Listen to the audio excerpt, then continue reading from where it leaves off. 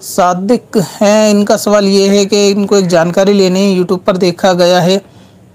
कि social media पर किसी इस्लामिक आईडी या कोई इस्लामिक प्रोडक्ट या कोई और प्रोडक्ट प्रमोट करना और उसकी कमीशन लेना कैसा है? यानी उसका एडवर्टाइजमेंट करके पैसा कमाना कैसा है? इसके बारे में शायद मैंने तफसीलन जो है वो वीडियो बना रखी है। आप यूट्यूब पर सर्च करें Sikandar Warsi about YouTube earning तो इसके आपको तीन पार्ट देखने के मिलेंगे। गालिबा इसके अंदर तीन पार्ट में से किसी में भी यूट्यूब के ज़रिए कमाई गई।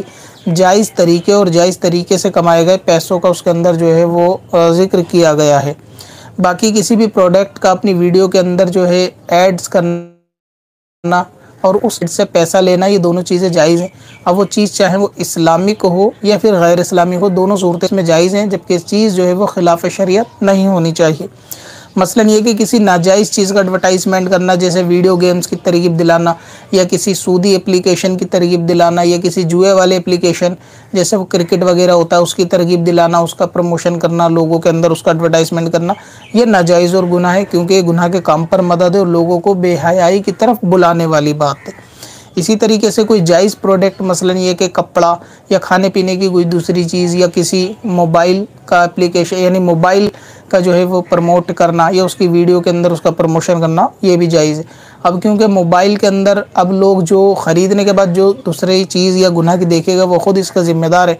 अब अगर ना ये कि मोबाइल के फ़ीचर जो है वो बताए जा सकते हैं।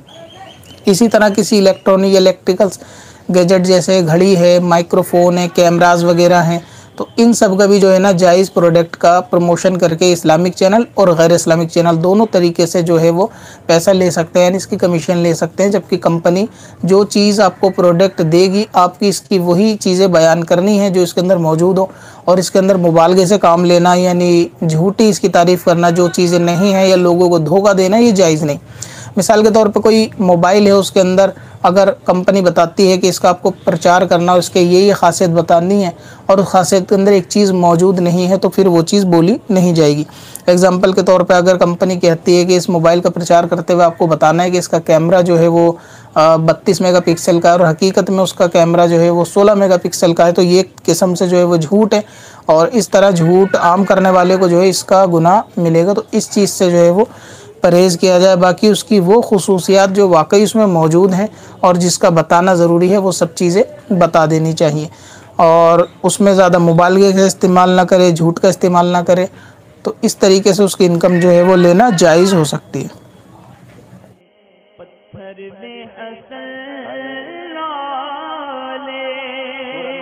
पुरनवार।